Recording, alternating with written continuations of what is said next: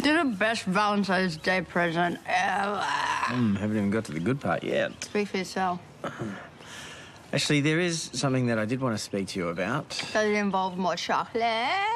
Actually, it uh, involves Willow and her schooling. Yep. Okay, well, you know how I told you that she did the entrance exam for Southeast Grammar? Mm-hmm. Well, Dee told me today that she's actually got a scholarship. Oh, that's great. Yeah, but it's only a partial scholarship, so there's still quite a bit of her tuition fee that's not covered, and, and obviously Dee can't cover it. So you want to help her? Well, yeah, I am her father. Yes, you are.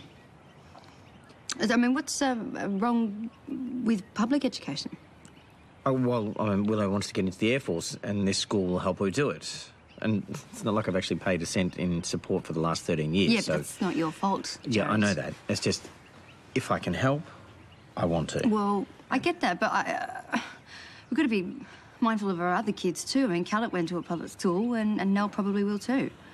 Okay, but an Air Force cadet needs any edge they can get, so. So, I mean, there could be other ways. Maybe we just should investigate a few other options before we make any decisions.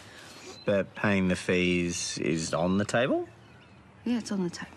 Oh, great. Thank you. I can't believe you did that.